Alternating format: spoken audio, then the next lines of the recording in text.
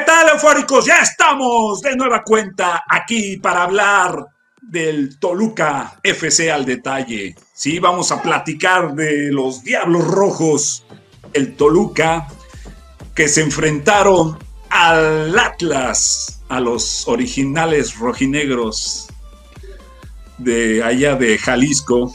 Este, esto ahí en el Nemesio Díaz, en la jornada 8, se enfrentaron estos dos equipos. Y bueno, pues empiezo diciendo que la alineación, que, pues, despiértate, ya, sé que va a estar medio aburrida la cuestión, pero porque sí, sí estuvo muy trabada la cuestión todo, todo el partido. Oye, pero los, los negri escarlatas contra los rojinegros o cómo estuvo? Sí, sí, sí, los originales rojinegros estuvieron de visita en la bombonera y bueno, pues inicio diciendo que Cristante utilizó la alineación que venía regularmente utilizando con un solo cambio, sí, el de Dedos López, este, que salió y entró Salinas por la derecha, por la, este, banda, derecha, o sea, pero explícame eso, explícame eso, agitador. ¿Por qué está jugando tanto con eso y por qué es un cambio recurrente? Realmente no veo que haga una diferencia cambiar a un jugador por la misma posición y sobre todo teniendo lateral derecho. Yo creo que por dos cuestiones. Tres partidos lleva haciendo lo mismo. Eh, una, porque se siente más cómodo este Zambuesa con Salinas. O sea, no sé por qué, pero le tiene más confianza a Zambuesa a Salinas. Y el otro, pues porque se lleva Salinas más con la mayoría, o sea, entonces, pues hay una... No, yo entiendo eso, entiendo eso por qué lo metió. Pero yo no lo entiendo porque en medio partido siempre hace ese, cambio de lateral. Ah, ya, ya, ya, ya. Sí, sí, los, los cambios recurrentes, o sea que sigue siendo lo mismo partido. Sí. Pero tácticamente, o sea, a ver tú. Tácticamente no hay cambio. O sea, sí, exacto. ¿Qué te puede hacer? ¿Te vas a defender mejor con el mismo otro lateral o vas a atacarlo con otro lateral? No, y a veces uno es titular y a veces el otro, como que no sé, que lo siento de cuates. Mira, ahora tú juegas y al rato entra él. Así para tenerlos contentos. A mí me parece eso nada más. No creo que haga algún cambio de la estrategia del parado del equipo. Claro, claro, nada, Nada, nada, nada, No hay muchas cosas que no entiendo del Toluca. No entiendo que siga dándose oportunidades a jugadores como Estrado Triverio cuando no aporta nada. Realmente yo sí me acabé muy molesto del partido. Si Atlas fuera, tuviera un poquito más de calidad, hubiera metido tres goles. No, hubiera goleado, sí. Sí, sí, o sea, mínimo se va con un 3-0 lleva el de Toluca. Tuvo un mano a mano impresionante. Sí, sí, la, de, la de Aldo Rocha era mano a mano con toda la portería abierta, que podía correr lo que quisiera, pudo haber borlado al portero, pudo haber hecho mil Pudo pasarla. Y lo que hizo fue un gol de campo literalmente. Pero eso te dice bien la, desconfianza que hay en ese equipo, en, el Atlas. O sea, eh, también ellos ya se sienten tan presionados que teniendo una jugada tan fácil, o relativamente fácil, la desperdician. O sea, y bueno, también comentó Cristante que pues el equipo del Atlas es uno de esos equipos que hacen ver mal al rival. difíciles, sí, no, bueno. Sí, que ensucian el partido, ¿no? El América, el América, lo único problema que tuvo con el Atlas fueron sus mismos defensas del América. Las jugadas más peligrosas iban a ser autogoles. La verdad es que es un equipo muy triste el Atlas. Realmente, como venimos diciendo aquí eh, semana con semana en lo malo y en lo feo. Sí, es un protagonista. El, Atlas tiene ya aquí con nosotros de, cliente frecuente. Porque siempre aparece ahí. En lo malo y lo feo, lo malo y lo feo. Sí, sí. Y ahora, que falla y falla. Sí, pero hizo ver mal al Toluca, es a lo que voy. Ah, un equipo que realmente de, llorar, hizo ver muy mal al Toluca, un Toluca sin dinámicas, sin ideación, sin ganas de ganar, este, con un entrenador que también se pasaba más peleando con el cuarto árbitro que, que acomodando a sus jugadores. Claro. O sea, totalmente perdidos, deambulando por el campo. Yo creo que ya Estrada y Triverio ya, ya se acabaron sus oportunidades, ¿no? juégatela con Paolo Irizar, por favor, a ver.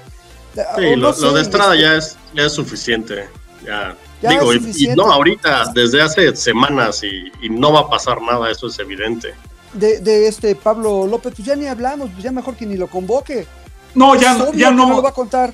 De hecho, por ahí escuché lo de Pablo uh, López, es que eh, él tiene un contrato donde si juega tal cantidad de, minutos, lo tienen que comprar. Entonces, como que los mismos ah, de la directiva han de estar diciendo, ¿sabes qué? Mejor ni lo metas, porque capaz que la gente lo va a pedir, o sea, y, ya vamos a tener que comprarlo. a, ver, o sea, a ver, agitador, pero ahí no te estaría haciendo la que aquí. Si es un buen jugador y te responde, pues lo compras. Es que no sé si sea buen jugador, nadie lo sabemos todavía. Pero si no le das la oportunidad, no vas a saberlo. ¿Tú no crees que vas a rendir más que Michael o que Triverio?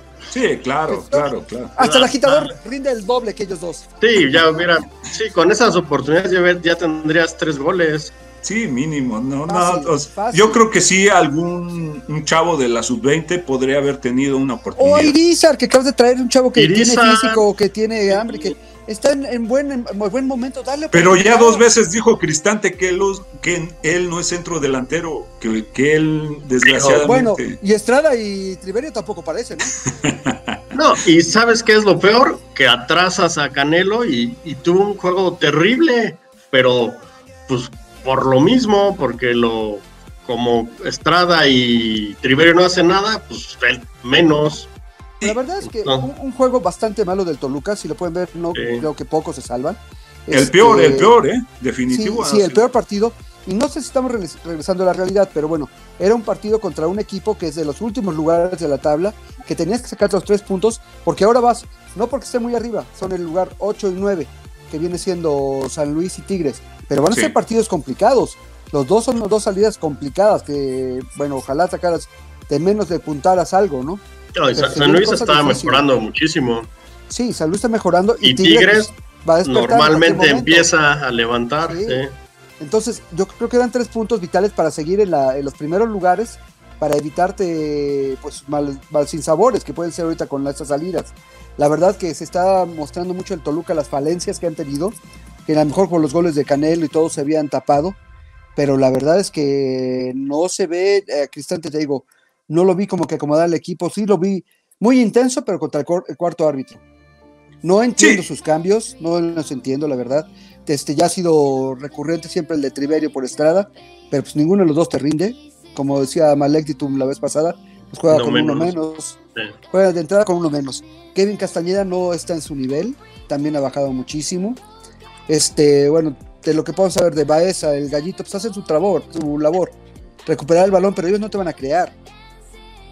Sí, de, hecho, también vamos a decirlo, eh, eh, ajaron en estos dos partidos este, su rendimiento, tanto Baeza como el Gallito, que eran los que estaban dando un poco de solvencia ahí en el medio campo. Y, estos dos partidos de, contra el Cruz Azul y el Atlas, de plano no corrieron, ¿eh? O sea, se vieron también este, muy, muy bajos de juego. Y, eso pues, le, pegó, le pegó a todo el equipo. O sea. No, me te voy a decir algo, a pesar de todas las que falló el Atlas, porque Barbieri por arriba todas las rechaza, ¿eh? Si no, ajá, la, verdad, Barbieri está jugando muy, muy bien. Pero, son lentos, ¿eh? Te voy a decir, o sea, sí, Barbieri no, lo está haciendo mal, pero, mira, tampoco también, o sea, porque no acomoda a, este Torres Nilo, o sea, se llega a perder Torres Nilo, o sea, al mismo Salinas y al mismo Rigonato, se los estuvieron llevando, o sea, se los estuvieron llevando, o sea, y, y, sí tiene, un central sí tiene que acomodar a, su defensa, y Barbieri no está siendo ese líder tampoco. Bueno, pero es que también sabes que Torres Nilo no es central, entonces pues, pues desde ahí empezamos mal, o sea. Las, dos centrales. Sí. bueno, algún tiempo sí fue central Tornilo en Tigres y había jugado, ¿no? Pero jugó en Atlas, de, de hecho en Atlas jugó de, central. Sí, pero en 2009. más tiempo sí ha sido de lateral, digo. Y, todo pintaba que lo tenían como lateral izquierdo. Sí, ahí fue Ortega. Sí, pero, pero bueno, como dices, al final se contagiaron todos, Digo, sí, un se, algunos partido, un terrible hicieron su labor, pero en general, el conjunto fue espantoso. No, yo creo que también necesitan una sacudida, porque se me hace que están muy cómodos. se me hace como que están en su zona de confort de todos. Ahí, ya estaban más o menos en primer lugares, ahí la llevamos, hasta el mismo Cristante. Sí, sí, sí, sí, es cierto. Lo siento, sí, una, una, zona de confort de que pues no los presionan, aquí no hay gente, no les están gritando nada, no van a decirles nada ni en sus casas ni nada, porque la afición Toluca hasta eso es noble, es tranquila, pero pues se la viven, pues ahora sí que sobrellevando, sobrellevando el trabajo y el juego.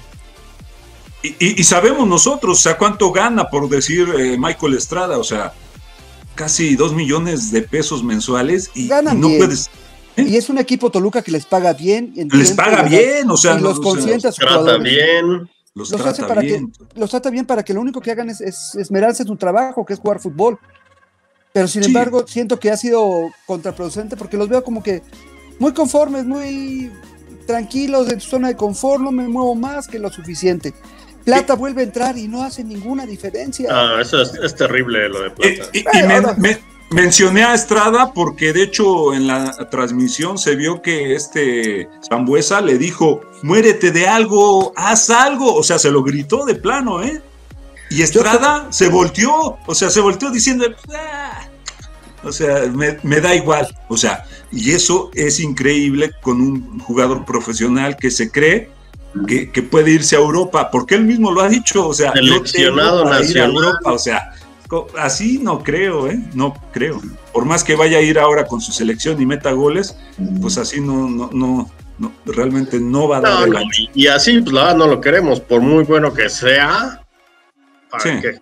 ¿No? Eh, no, y aunque ya, o sea, por su actitud, no solamente de este partido, sino de varios, que le den las gracias al final del torneo, o sea, de plano y se pues consiga a muchos, Sí. A muchos. Se lo vendan. Y... a muchos, a muchos, pero desgraciadamente no todos terminan contrato y, eso pues... Ese es el problema, ese es el problema, que Toluca los tiene que mantener ahorita porque tienen contrato vigente y les tiene que pagar y no hay, no hay ningún equipo que se interesara por ellos. No, nada, nada. Digo, por Estrada seguramente sí, pero por la mayoría es difícil, sí.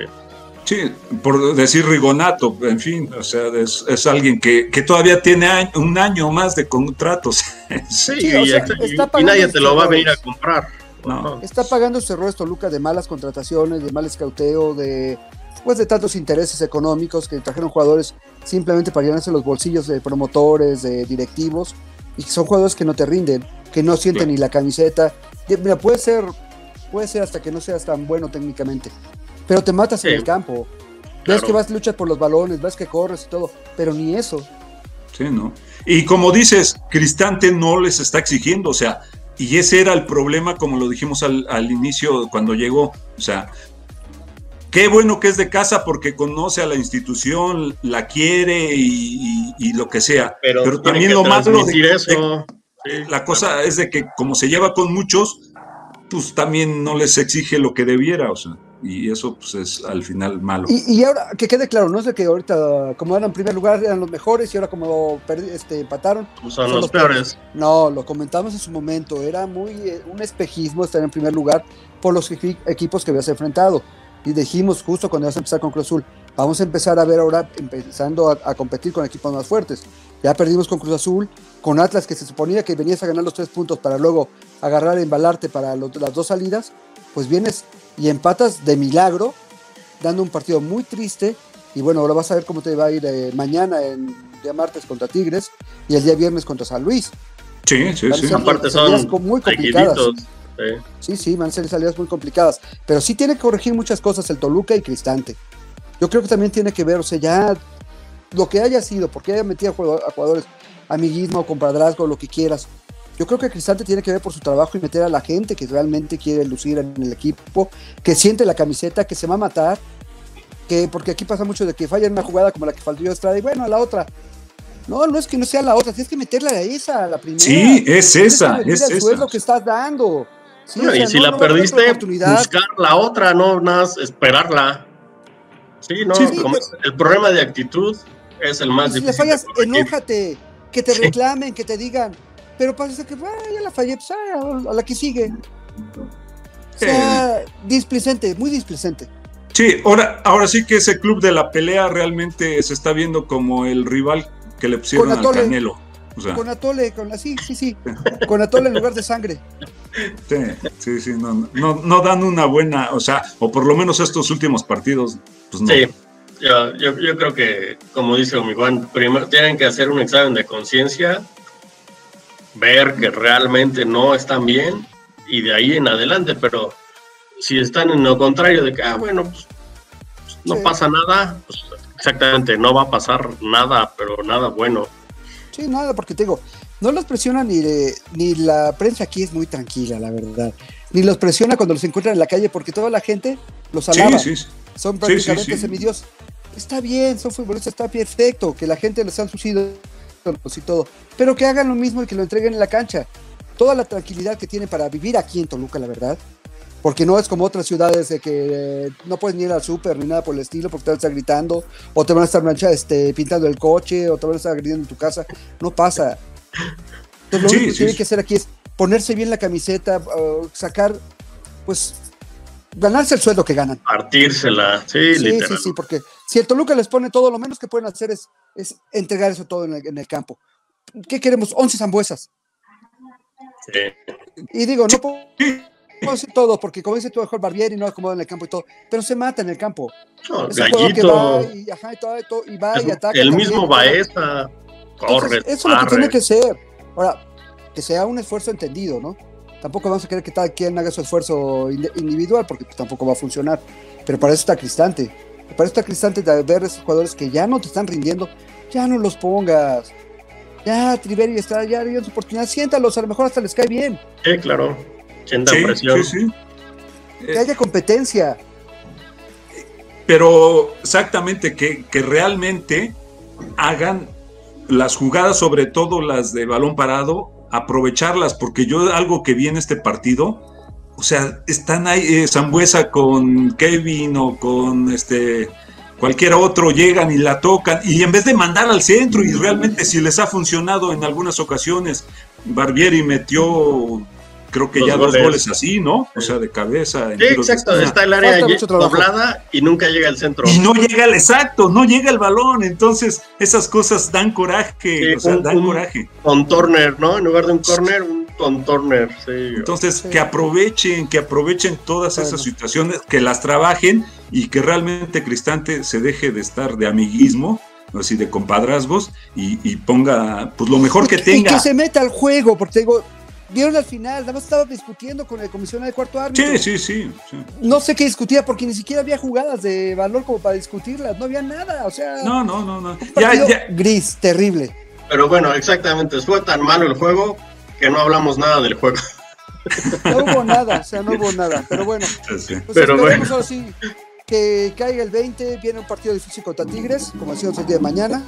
Tiene que demostrar Toluca es un Tigres que tampoco está en su mejor momento, entonces bueno, pues es un momento de... de, ganarle al subcampeón del mundo. De plantearse bien allá en, este, en Nuevo León y hacer un buen partido, ¿no?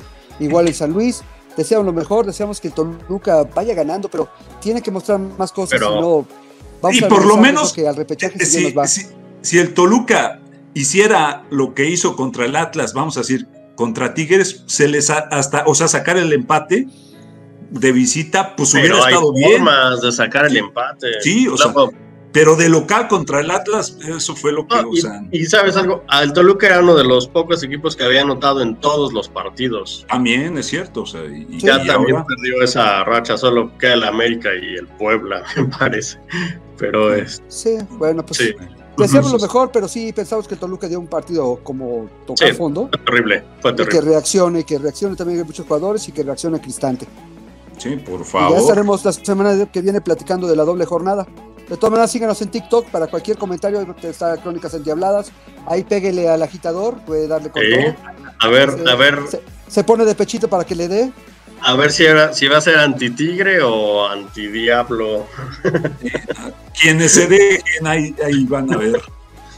Sí, a ver, ahora dicen, ya sabremos ya que, viene, pero bueno, siguen dando el TikTok. Ahí también Malecditum sacará todo su lado bueno, porque el malo no lo hemos visto. Ahí en TikTok seguirá lo mismo. Pero ahí sigan, den los likes y pues ahí estamos en contacto. Y en YouTube, por supuesto. Sí. Continúen aquí, eufóricos.